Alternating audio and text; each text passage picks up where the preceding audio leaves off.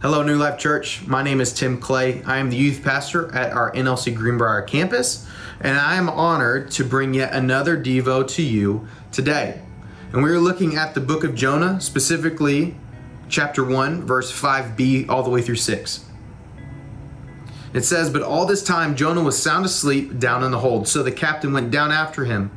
How can you sleep at a time like this? He shouted. Get up and pray to your God. Maybe he will pay attention to us and spare our lives.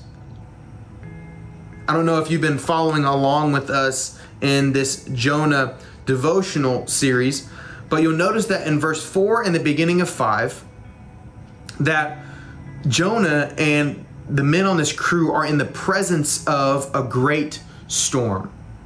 So the captain and the and the rest of his crew they are praying all to their different gods all of different religions in hopes that one of them is listening and will spare their lives. Put yourself in the captain's shoes. So he's he's looking around he's trying to figure out wait a minute there's there's a person missing and realizes that jonah the man who has him there in the first place is missing. So he goes down to the hold and doesn't find jonah in a fetal position. No that one would have made sense no, he finds him asleep in the midst of this storm. And he wakes him up and tells him, Hey, pray to your God that he might save us. There's there's some interesting things happening in this scripture. That's why I love the word of God is and even in a small excerpt like this, there's so much content. It's so deep, it's so rich. Essentially what's happening here first and foremost is that all these men are praying to gods who are nothing and can do nothing ultimately, and they turn to the one man who has a relationship with the one true God, has walked with him, has talked with him, has worshiped him, and knows his word, and he's asleep.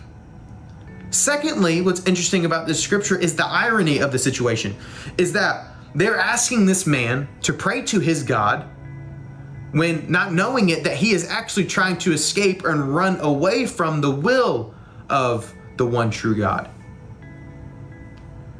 It's almost as if I, I want you to notice this that it, it's like the group project that has a deadline. You're stressing about it. it it's it's due soon, and everybody's working hard. And then you look over, and there's one person who's not only just not doing anything, they're completely oblivious to what's happening. There's a great frustration there. And so you can imagine being in a captain's shoes. He, he, he's so mad, not in the sense that he's not doing anything, but because there are all these men that he's in charge of and their lives are at a great risk in hopes that one of these gods will save their lives. Notice the third thing about this scripture. It parallels a very big, famous story that happens in the Gospels. One of the Gospels that, that includes this story is Matthew, and it's in Matthew 8 23 through 27. It's when Jesus is sleeping on a boat along with the disciples in the midst of a great storm.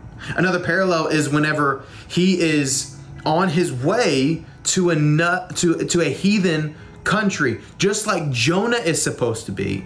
Yet Jonah is fleeing God's will, Jesus is walking in God's will, and yet what's happening? What's the similarity between the two stories? They're both still walking through a great storm. They're still having to travel through a great storm. And yes, all the men that are around these two men are frantic. They're freaking out because the one man who has a one true relationship with God, has walked with him, has talked with him, has worshiped him, knows his word, is asleep. That word sleep in the Greek translation means to be dead, to almost be in a dead, dead state. So, like in a deep sleep. Now, there's a lot of foreshadowing, especially to the experience of the death and resurrection of Jesus. However, what we need to notice about this story is that we are like the disciples. We are perishing in great waters, as Psalms 18 through 17 puts it. But we are saved by faith in Jesus, our Creator, who died and rose again so that we might experience a great calm, as Matthew 8 25 puts it, and return to life on dry ground once more.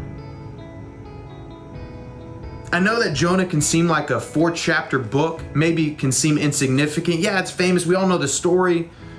but it plays such a bigger role, especially into the story of salvation of Jesus. I don't know about you, but I am thankful that we serve a God, that we walk with a Savior, that we have the Holy Spirit living inside of us, that in the midst of whatever storm that we walk through, that we have a God who has the authority to rebuke it, just like Jesus did back then in the Gospels over 2,000 years ago. He's doing that for us today. So I hope this encourages you, and I can't wait to see where the rest of this series takes us. God bless you.